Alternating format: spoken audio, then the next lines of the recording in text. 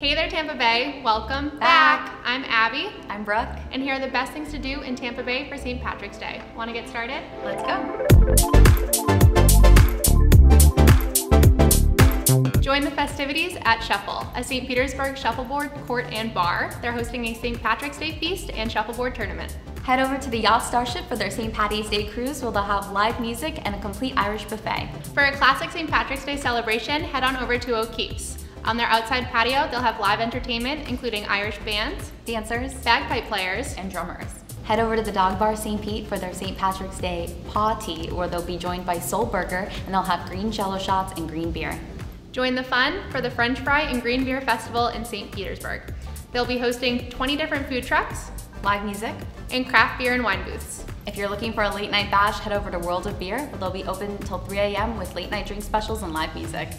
Join the Shamrock Shenanigans at Miss Hyde Bar in Clearwater, where they'll be hosting a freestyle hip hop open mic show. That's all we have for you for St. Patty's Day, but make sure to follow us on Facebook, Instagram, Pinterest, Twitter, TikTok, YouTube. and on our Unation app. Have a happy St. Patrick's Day. See you next week.